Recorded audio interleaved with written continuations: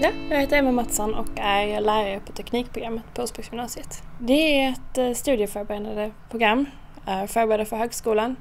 Men vi försöker också blanda in lite praktik så att man vet hur ett företag fungerar. Man har sett hur produktionen fungerar och försöker blanda in lite design och bild och form så att man får se alla delar utav företaget.